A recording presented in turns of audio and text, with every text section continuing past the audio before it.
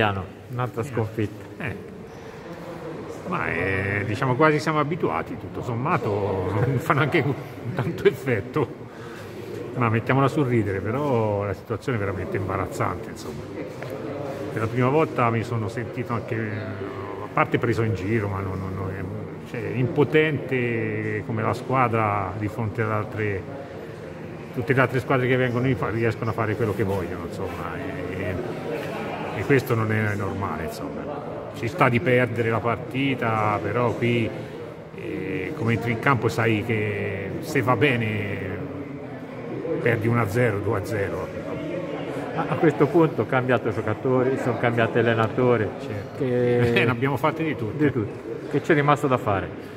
Sinceramente non lo so, mm, perché i giocatori non se li può comprare più e meno male, perché ne abbiamo già comprati anche troppi. Problema è che li abbiamo comprati forse male.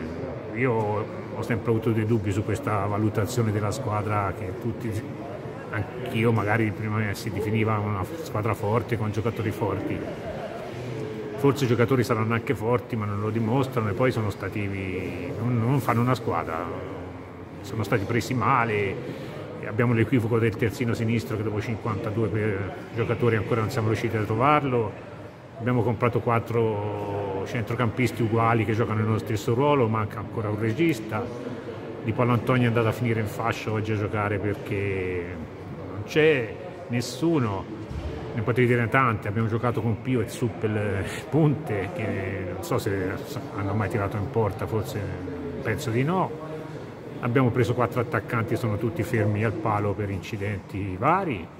Insomma, la situazione è brillante. Ecco, Se tu fossi al posto del mister, che faresti ora? Io andrei a casa, sinceramente. No, ora io non so l'amor proprio che possa avere Stellone, ma fossi in lui me, mi sorgerebbe questo dubbio, perché se voglio avere un nome e continuare a allenare, sinceramente rimanere qui non, non, è che gli faccia bene. Però fossi nel mister, eh, niente, sa, dicevo prima, tutto sommato, anche se siamo con un piede tre quarti e anche più in Serie D, o comunque ultimi poi vediamo, in realtà finché la matematica se sei a 5 punti a due giornate dalla fine della penultima non, non ti condanna, si può sempre dire vinciamo le ultime due partite, non so come, però sinceramente non saprei che fare, forse andrei a casa. Ecco. Ok, grazie.